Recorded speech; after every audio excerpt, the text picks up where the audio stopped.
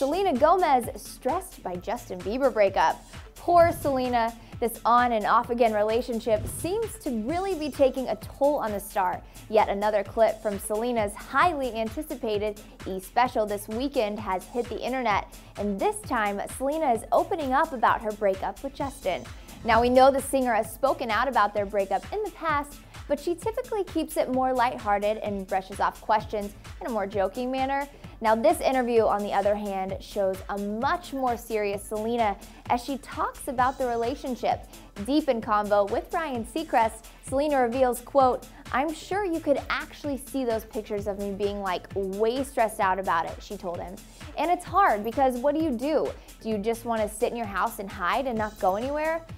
Poor Selena, a breakup is always tough and we totally can't imagine what it would be like going through such a time while always in the public eye. But we love that Selena doesn't let her relationship woes stop her from living her life. The 20 year old is constantly seen out and about with friends, even being photographed during a girls' day with Taylor Swift just a couple weeks ago.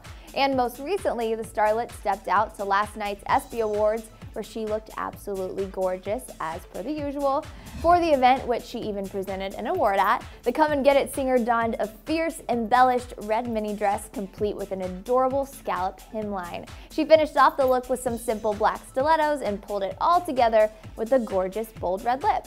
So what do you guys think of Selena's look and what do you think about her opening up about her stressful Bieber breakup? Make sure to watch the full clip by clicking the link below and let us know all your thoughts in the comments section. And of course, keep checking back to Clevver TV for all of your celebrity updates. I'm Brianna Baxter filling in for Joslyn and Dana. Thanks for tuning in, guys.